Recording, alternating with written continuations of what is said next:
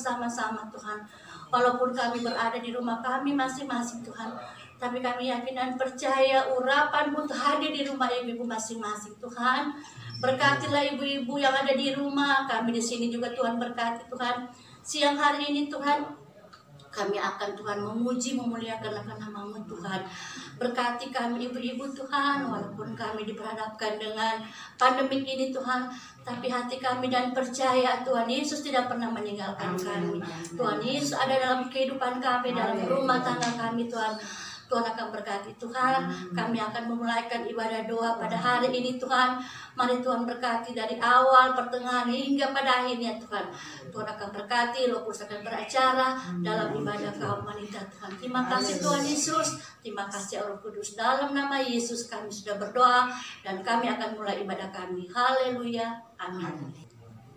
Puji Tuhan ibu-ibu mari kita hati kita. Dan dalam hadirat Tuhan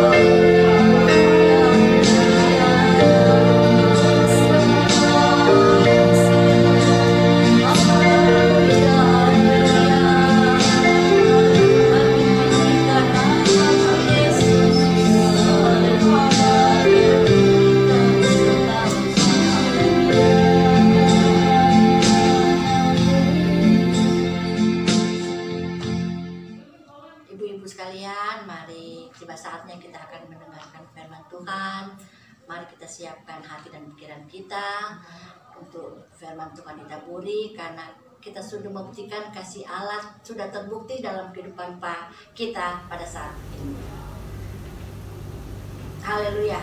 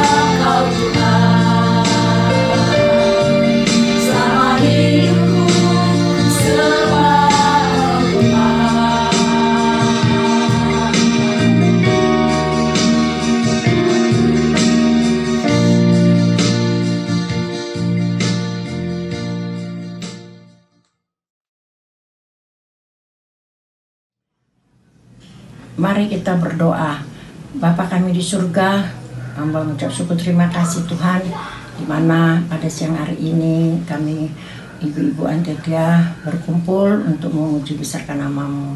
Bapa di surga, sebentar kami akan mendengarkan sebagian dari firman-Mu, urapi hamba-hambamu Tuhan yang telah membawa puji-pujian Biarlah puji-pujian menjadi harum di hadapanmu dan juga sebentar firmanmu. Kau urapi hambamu yang bawakan firmanmu. Biarlah firmanmu itu menjadi kekuatan bagi kami yang mendengarkannya Tuhan. Baik di Youtube channel Tuhan, baik di gereja. Kami juga serahkan semua dalam tanganmu Tuhan. Urapi hambamu yang bawakan firmanmu. Buka hati rohani kami Tuhan. Kami siap mendengarkan firman-Mu. Sucikan hati dan pikiran kami. Kami akan mendengar firman-Mu Tuhan Yesus. Kami akan sambut firman-Mu dalam nama Tuhan Yesus yang menjadi juru selamat kami. Terpujilah namamu Bapa. Haleluya, haleluya. Amin.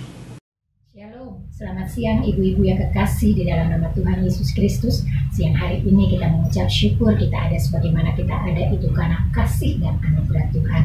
Kita mengucap syukur siang hari ini kita dapat berbakti bersama-sama memuji dan meninggikan nama Tuhan. Tanpa terasa kita masuk di bulan yang baru, bulan eh, September ini. Itu pun karena pertolongan Tuhan bagi kita semua. Sudah hampir lima bulan ibu-ibu kita ada di rumah tidak dapat bertemu satu dengan yang lain, tapi kita percaya di mana pun kita berada, pertolongan Tuhan, pemeliharaan Tuhan berlaku bagi kita semua. Mari ibu-ibu, eh, pada siang hari ini kita mau sama-sama belajar akan firman Tuhan. Pada siang hari ini saya mau bawa kita untuk membuka Alkitab kita, kita mau buka Alkitab kita di kitab Yunus. Yunus 2 ayat 1 sampai 10. Doa ucapan syukur Yunus. Berdoalah Yunus kepada Tuhan Allahnya dari dalam perut ikan itu. Di sini katakan berdoalah Yunus kepada Tuhan Allahnya dari dalam perut ikan itu.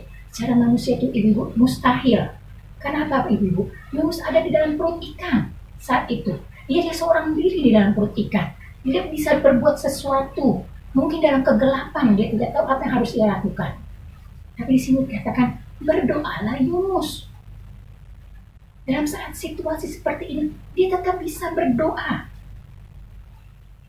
Katakan di sini, katakan kembali di ayat kedua. Katanya, dalam kesusahanku aku berseru kepada Tuhan, dan ia menjawab aku. Dari tengah-tengah dunia orang mati, aku berteriak, dan kau dengar suaraku. Dia tetap berdoa. Dalam kesusahanku, aku berseru kepada Tuhan. Ibu-ibu secara manusia itu tidak mungkin. Kita diperhadapkan dalam masalah pergumulan yang seberat itu, apalagi di Yunus dalam perut ikan. Dalam masalah pergumulan yang menghimpit kita, mungkin dalam sakit penyakit, perut ikan ini bisa dikatakan seperti masalah kita, perut kita, pergumulan kita, atau mungkin sakit penyakit yang sedang kita rasakan saat ini. Tapi saat ini dikatakan di sini, Yunus tetap bisa berdoa. Dalam kesusahanku aku berseru kepada Tuhan. Dia tidak tetap bisa berseru kepada Tuhan. Walaupun dia dalam keadaan dalam menghadapi masalah. Katakan di ayat ketiga, telah kau lemparkan aku ke tempat yang dalam, ke pusat lautan, lalu aku terumpung, telah aku terangkum oleh arus air, arus air, segala gelora dan gelombangmu melingkupi aku. Ayat 4, dan aku berkata, telah terusir aku dari hadapan matamu. Mungkinkah aku memandang lagi baitmu yang kudus? Di ayat kelima, segala air telah mengepung aku, mengancam nyawaku. Samudera raya merangkum aku, lumut lautan membelit kepalaku. Di ayat 6, di dasar gunung-gunung aku tenggelam ke dasar bumi. Pintunya terpalang di belakangku untuk selama-lamanya. Ketika itulah engkau menaikkan nyawaku dari dalam liang kubur, ya Tuhan Allahku. Itu doa daripada Yunus selama ia ada di perut ikan. Dia tetap menanti janji Allah. Ia tetap setia, ia tetap beriman bahwa Allah tidak pernah meninggalkan dia selama ia ada dalam perut ikan. Doa Yunus yang begitu luar biasa ibu-ibu. Dia tetap berdoa, menanti, menunggu janji Tuhan melepaskan dia dari dalam perut ikan ini. Kita membaca kembali di ayat ke-7. Ketika jiwaku letih lesu di dalam aku, teringatlah aku kepada Tuhan, dan sampailah doaku kepadamu. Ke dalam baitmu yang kudus. Ayat 8, mereka yang berpegang teguh pada berhala kesia-siaan, mereka lah yang meninggalkan dia, yang mengasihi mereka dengan setia. Tetap doa daripada Yunus menantikan janji Tuhan. Dia tidak bersungut-sungut ibu-ibu. Dia tetap percaya, tetap yakin, tetap beriman kalau Tuhan tidak pernah membiarkan dia seorang diri. Di ayat, eh, ayat 9 berkata, Tetapi aku dengan ucapan syukur akan kupersembahkan korban kepadamu. Apa yang kunasakan akan kubayar. Keselamatan adalah dari Tuhan. Di sini dikatakan, tapi aku dengan ucapan syukur. Yunus mengucap syukur.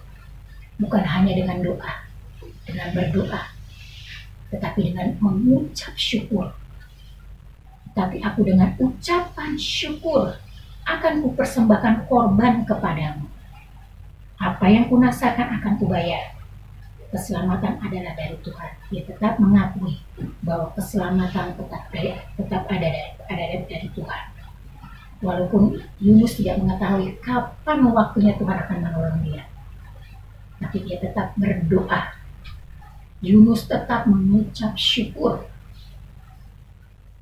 Dia tetap beriman, dia tetap setia menanti janji Allah.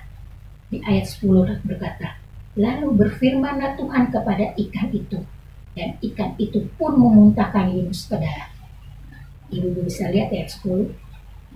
Karena ada ucapan syukur, ada doa, ada permohonan, ada ucapan syukur. Di ayat 10 berkata, Tuhan berfirman kepada ikan itu, dan ikan pun ikan itu pun memuntahkan Yunus ke, laut ke darat karena ada ucapan syukur maka Tuhan berfirman cukup.